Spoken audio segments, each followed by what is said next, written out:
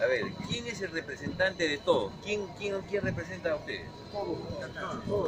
Somos de diferentes ¿Quién- provincias. quién lleva? Entonces, lo que podemos hacer es que la converse con, con el que lo representa a todos ustedes.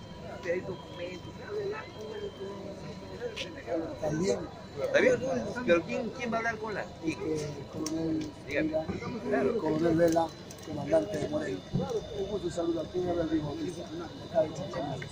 Yo quisiera que comprendan que cada dirigente tiene que representar a su base.